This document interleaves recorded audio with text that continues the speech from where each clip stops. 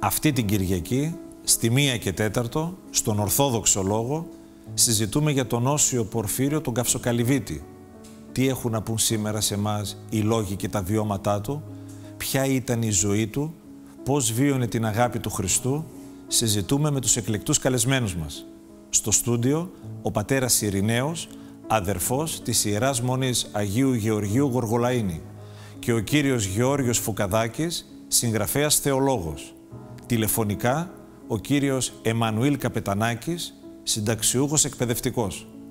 Αυτή την Κυριακή, στη 1 και 4, στον Ορθόδοξο Λόγο, στην Κρήτη TV.